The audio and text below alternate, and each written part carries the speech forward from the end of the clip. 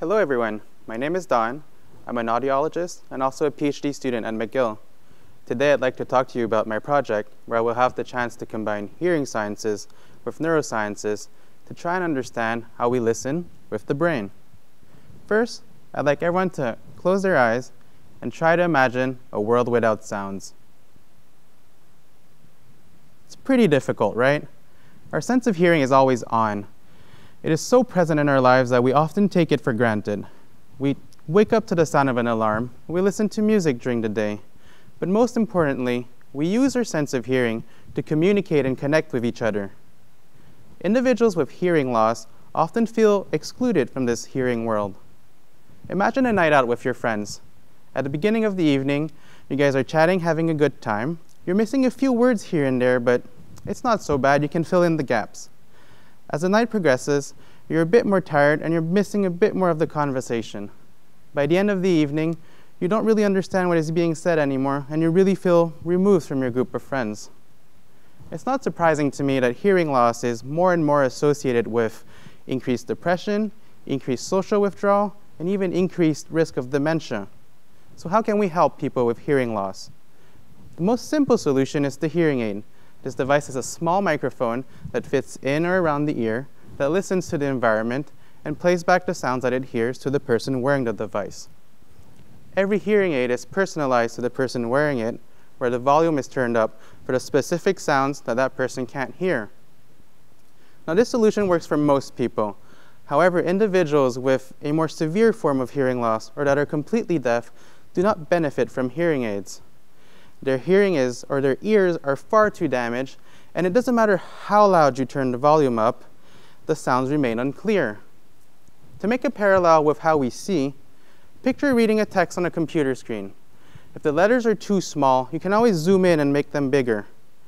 However, if the letters are blurry to begin with, it doesn't matter how big you make the letters, it's still difficult to read.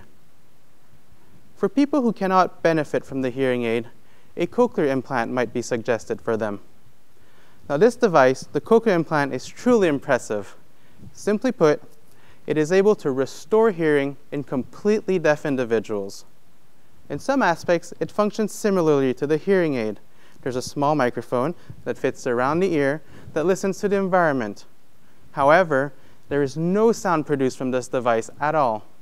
Instead, what is heard by the microphone is transformed into an electrical signal that is delivered directly to the brain, bypassing the damaged ear. To come back to a parallel with how we see, instead of zooming in or making the letters bigger on the computer screen, with the cochlear implant, what we're doing here is we're rewriting the blurry text. Now this device has helped more than half a million people around the world. It has produced amazing results. Children that are born deaf can now be implanted by the age of six months. When they grow up, they will develop functional hearing and normal spoken language. In fact, when you talk to these individuals, you wouldn't even be able to tell that at birth, that person couldn't even hear a fire alarm. Sadly, not everyone who gets implanted share these amazing results.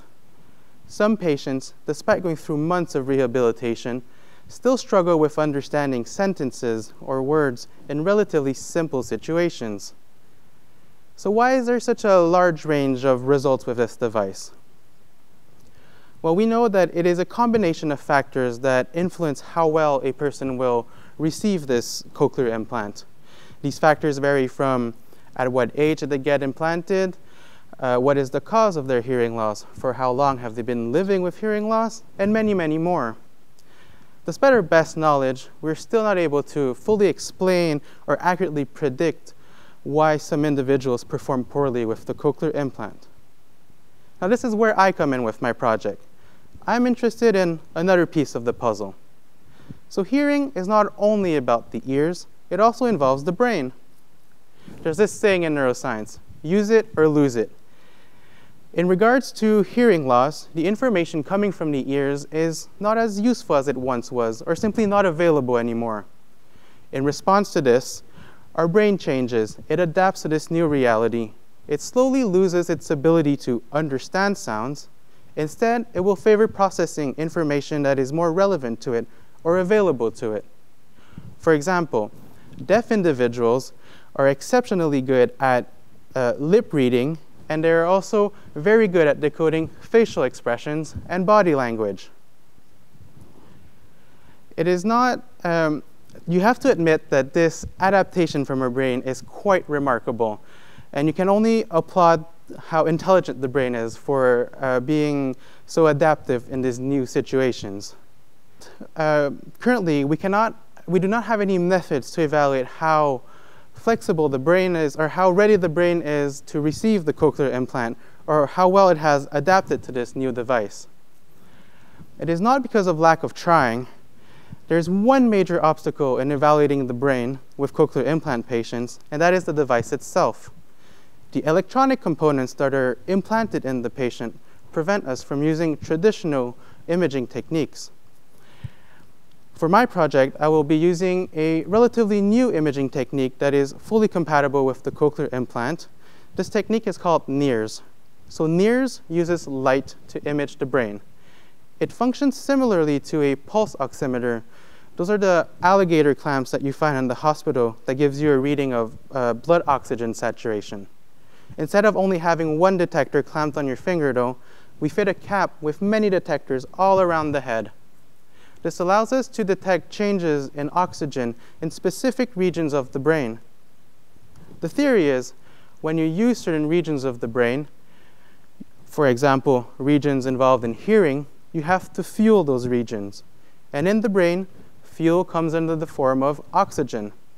So by tracking changes in oxygen, we're able to, to, to track changes in brain activity. Using this method, I will follow changes in brain activity throughout the patient's rehabilitation journey. My goal is to identify patterns of activity that are associated with good results, but also patterns of activity that are associated with poorer results. In doing so, we will have more tools to identify patients who need a bit more help earlier on during the rehabilitation. Also, by understanding how brain activity changes through time and throughout rehabilitation, we will have uh, more hints as to how to personalize or fine tune our rehabilitation strategies, even potentially developing personalized treatments for each individual patient. Finally, since we're already evaluating the brain, this opens up new opportunities to develop rehabilitation methods that directly target the brain. And I'm thinking of brain stimulation here. I know, when I say brain stimulation, it might sound scary, like zapping someone in the brain or electroshocks. But I assure you, our new and modern techniques for brain stimulation are more similar to brain cheerleaders, where we encourage certain regions of the brain to, to work a bit harder and to push, push, push. To summarize, with my project, I will look beyond the ears to understand how we relearn to hear with the use of the cochlear implant. Ultimately, though, I hope that with my research, I will be able to extend the life-changing benefits of the cochlear implant to a maximum number of patients. Thank you for listening.